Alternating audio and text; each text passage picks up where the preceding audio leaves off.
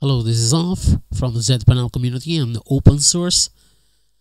Today I'm going to show you the third part of Future Hosting VPS, a managed server. The third part is going to be with Plesk. First of all, don't forget to subscribe to my channel. You can follow me on Twitter and Blogger. Now let's go to Future Hosting website. As you can see, it's a brand new website. Virtual private server start at $17.47. Uh, there's an offer now, I think, rather than $30.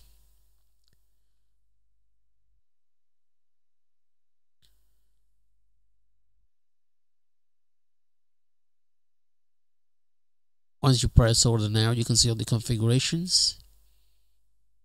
We got managed, unmanaged, the hybrid. They also dedicate a server, but as you know, today we're going to talk about just the virtual private servers, the unmanaged with the Plesk control panel.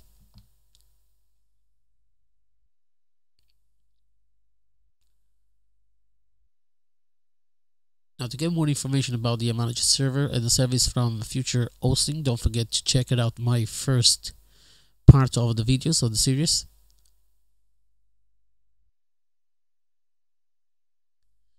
Anyway let's start now with the uh, starting with the Plesk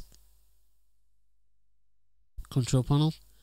Anyway once you register and everything you're going to receive a email from future hosting with your login passwords and an IP now if you type the IP you get you get this part of it with the certifications. Uh, you proceed and you're going to log in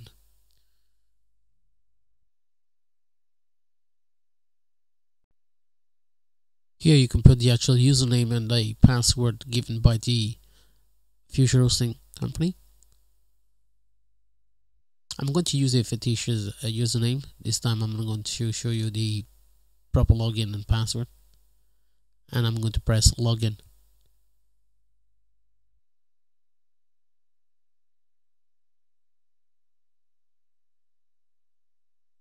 Now you get the user and the user license agreement where you scroll after read it you scroll down at the end and accept it. Make sure that you click that you agree. And you can also click do not show that again. In this case I'm not going to leave it myself but to, you do whatever you want to do it. And then I press accept. Now the next screen is asking you for the full host name. Uh, I'm going to use my usual free t .tk domain names AG server for this tutorial. And logically it's only one IP dedicated IP has been allocated to me for this tutorial.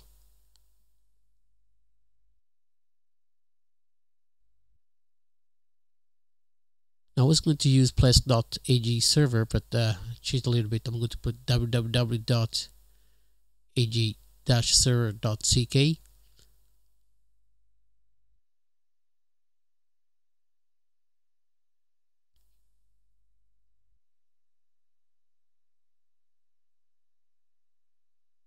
That's the actual IP.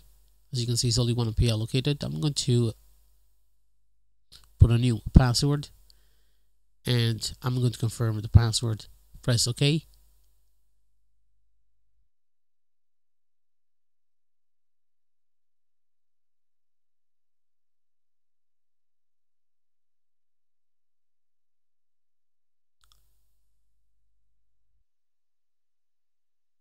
Now it's going to start to asking some of the questions where logically you need to make sure that you read it through before you can actually make a decision what you're going to use it for. If it's a commercial, you know, for corporate web designers, for this particular tutorial I'm going to use commercial. Now each individual things there does exactly something different you need to make sure that you choose the right one. By doing so, you get more or less little bit features. Once you decide which one you're going for, you press OK.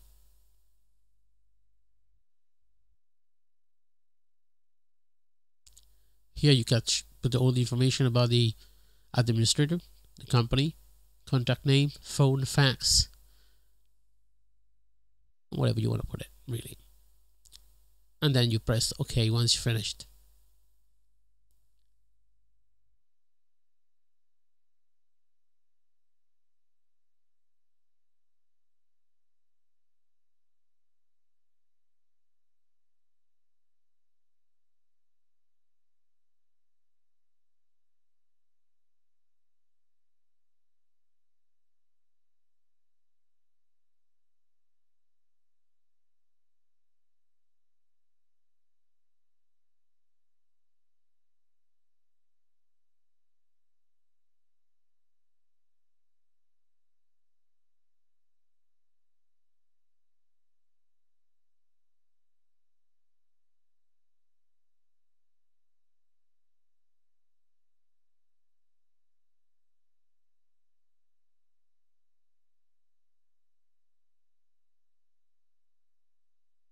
So once done, you are inside the Plesk panel.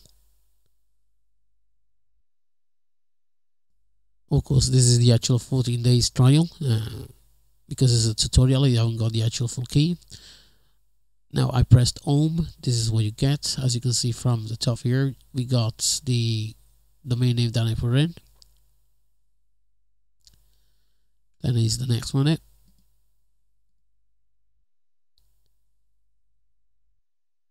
You can add customers, resellers, domains, subscription service plans, and so on.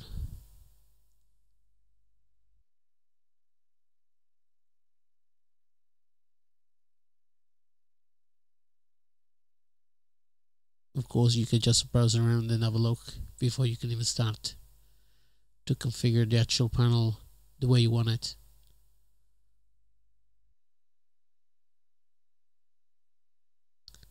Thanks again for watching this tutorial.